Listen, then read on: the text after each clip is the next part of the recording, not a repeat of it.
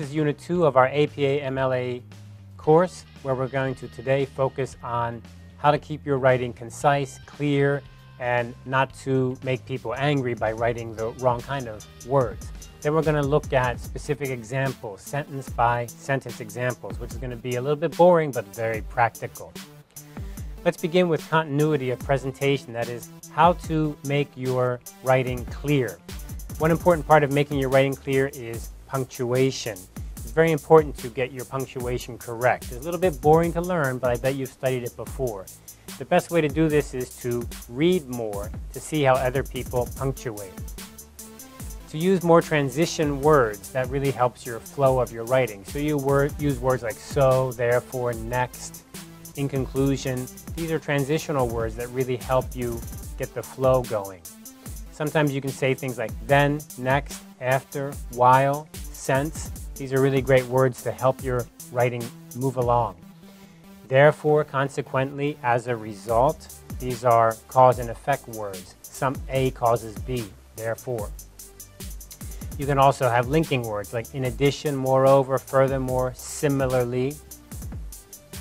You can have contrasting words, but, conversely, nevertheless, however, although. And you can have pronouns, of course, we're going to use pronouns. But you know what? Pronouns are very easy to confuse the reader. So when you use pronouns like he, she, that, they, those, these, when you use these pronouns, you need to be very clear what is it you're referring to. Smoothest of presentation is related to making your writing go smooth from point A to point B. And of course, when we're doing our writing, we have words, sentences, and paragraphs. And when we talk about smoothness, we're talking about word to word, sentence to sentence, and even paragraph to paragraph. So this smoothness idea really covers your whole writing, beginning at the lowest level. How can you make your writing smoother? How can you improve it so that it reads smoother? One great way is to give it to someone else to read.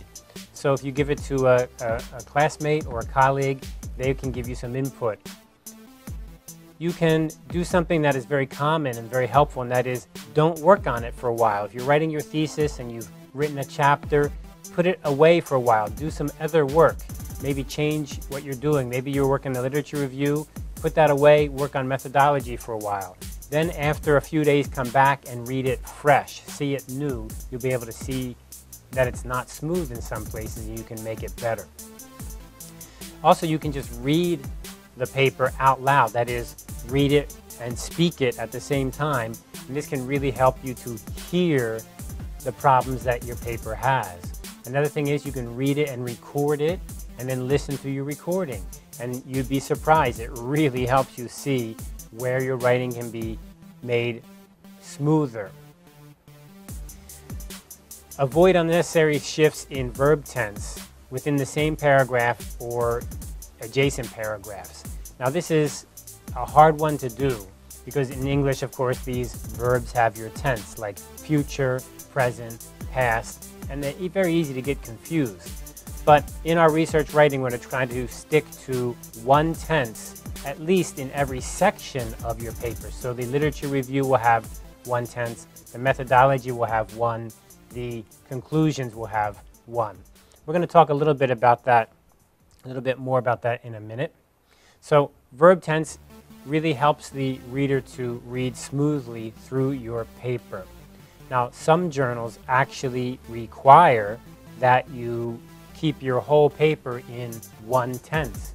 Uh, many journals, good journals these days, require everything to be written in present tense. But the APA does not specify that. In fact, the APA is recommending that, number one, don't change tense a lot. Don't have one paragraph that's past tense and the next paragraph is present tense. Rather, you can have your literature review as past tense because it's reviewing research that happened before.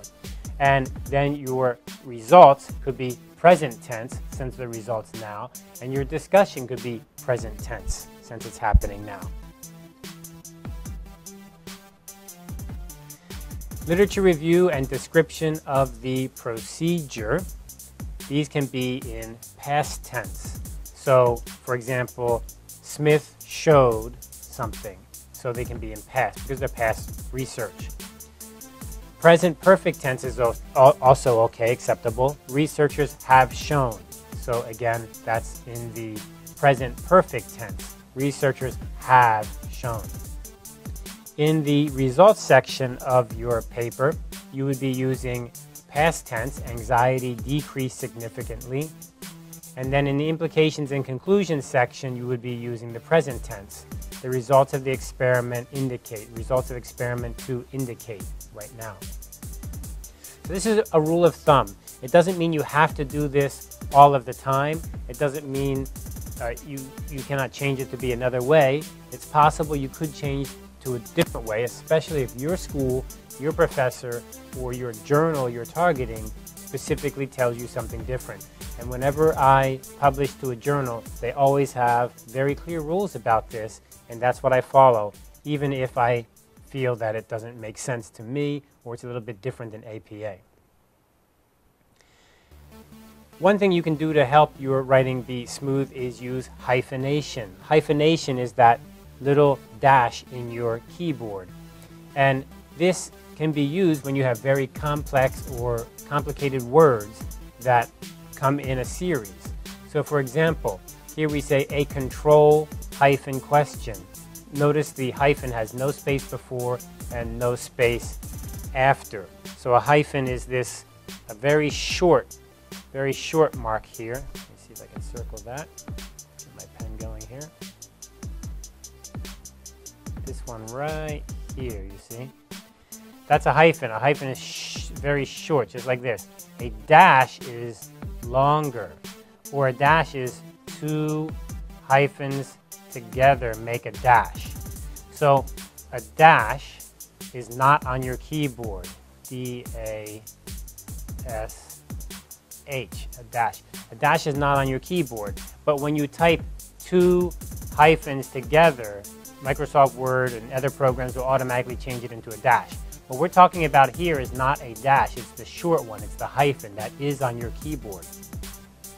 So you can combine words like control and question. Basically, it's a complicated idea, but it is a thing, so you combine it together to be a single thing. Here's another example. An expanded issue. Expanded issue, because this is a thing, so this is a noun basically. We're combining it together to make it clear that this is a one thing. A control question, right? An expanded issue control question technique. Now, what we're saying here is that expanded issue control question technique. This is a, some kind of methodology, some kind of method. If we did not use these hyphens, the user would be easily confused because they would read an expanded issue control question. So these are four words in a row and you begin to get confused. What is it we're talking about? Is this expanded control question or is this expanded question? So by using the hyphen, you clearly help the reader see, oh, these two go together and these two go together here, and that makes more sense.